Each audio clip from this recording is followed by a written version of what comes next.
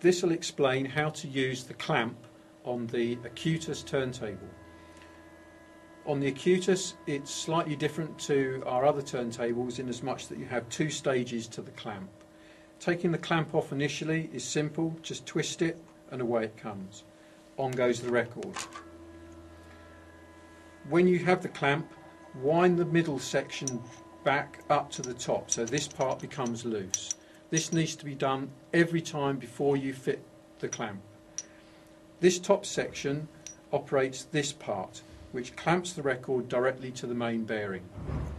Holding the platter and the record together, pop it on and twist it down and twist this down hard using the top section only.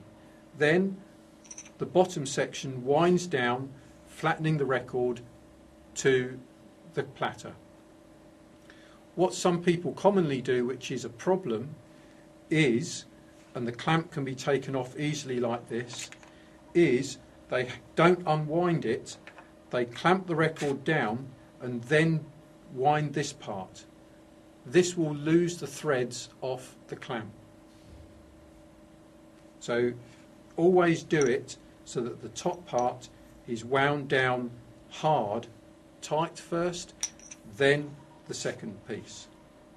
You'll never have a problem.